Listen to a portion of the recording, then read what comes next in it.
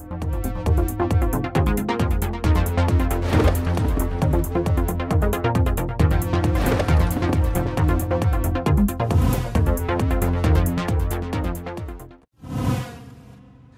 Ja, ich glaube, dass, dass es ein bisschen einen unterschiedlichen Zugang der verschiedenen Nationen gibt. Also es ist so, dass, dass Japan natürlich, die sind auch den ganzen Winter über äh, wahnsinnig viel in Europa, in einem anderen Kontinent. Die starten äh, erfahrungsgemäß nicht den gesamten Sommer Grand Prix durch.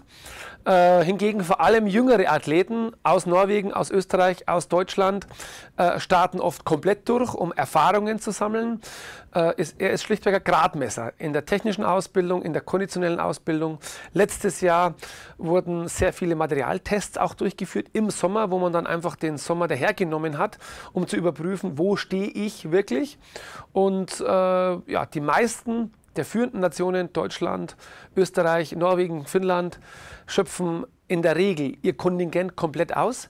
Nicht immer mit den allerbesten Leuten, aber meistens schon, aber nicht immer, sondern man gibt dann auch einmal jüngeren Athleten die Chance. Ich denke, äh, wir werden das heuer auch so machen, dass wir beispielsweise nach Japan nicht den kompletten A-Kader schicken werden, sondern einen Teil des A-Kaders und auch zwei, drei jüngere Athleten aus dem B-Kader. So haben wir das die letzten Jahre auch immer gemacht.